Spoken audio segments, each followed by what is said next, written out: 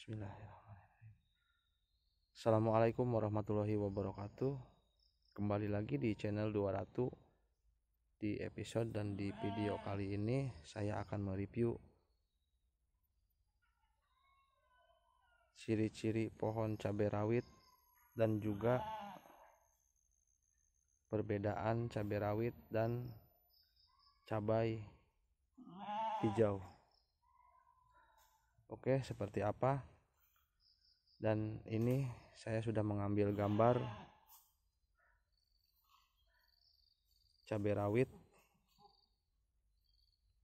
yang sudah berbuah dan siap dipetik.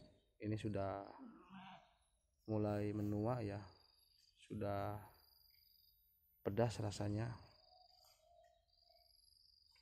Mantap. Jika dijadikan sambal.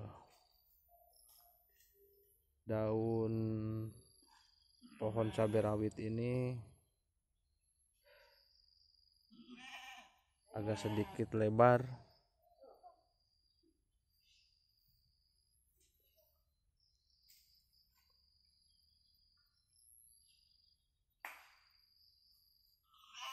Dan kita akan mereview cabai hijau keriting. Nah ini dia di sebelahnya. Saya sudah menanam cabai hijau keriting. Perbedaannya dengan cabai rawit. Cabai hijau keriting ini dominan berwarna hijau tua. Dan daun cabai hijau keriting ini sedikit rapat ya dibandingkan dengan pohon cabai rawit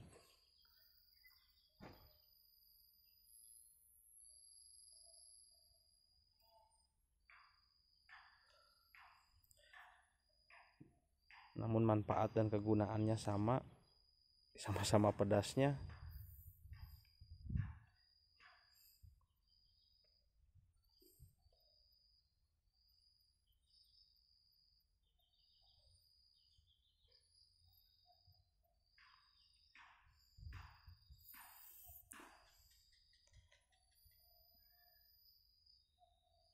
Dan di sebelah pohon cabai hijau keriting ini ada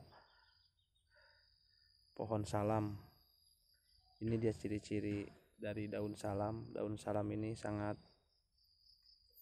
bermanfaat bagi kesehatan dan juga sebagai penyedap rasa